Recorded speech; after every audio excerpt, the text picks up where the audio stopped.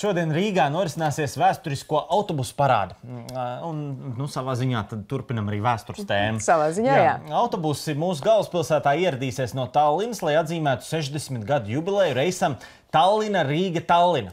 Parādi sāksies pulksteni pusdienos dienā no Dailas teātra un tālāk autobusi dosies uz Rīgas starptautiskā autoostu. Vairāk mēs jautāsim parādes organizatoram kompānijas Lux Express Latviju vadītājiem Krišjānam Reķim. Labrīt! Labrīt! Labrīt! Kādus tad uh, autobusus varēs redzēt? Vecie Ikarus būs? O, šodien būs tāda unikāla iespēja, jā, tiešām atskatīties uz šiem sešiem gadu desmitiem un, un uz mirkli apstāties un padomāt un saprast, ar kādiem tad autobusiem šo 60 gadu laikā cilvēki ir ceļojuši starp mūsu abām divām galvaspilsētām. Un būs unikāla tiešām iespēja redzēt autobusus pat tādus kā ZIS no 56. gada un Luks Ikarus un mūsu jau tādu vairāk zināmo Ikarus 255, kur arī mēdz saukt par akvāriju. Jo bija kantains, jā? Ja?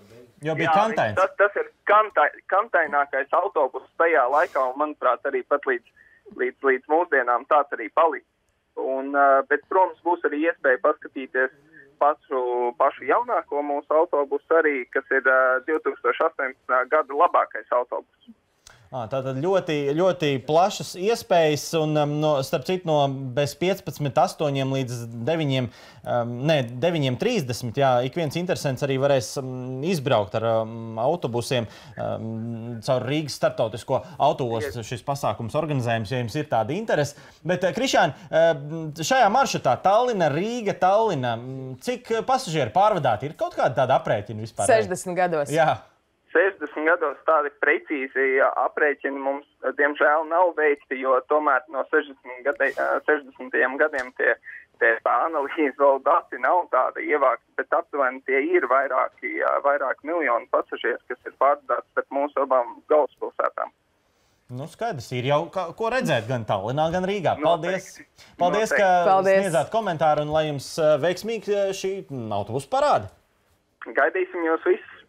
Paldies!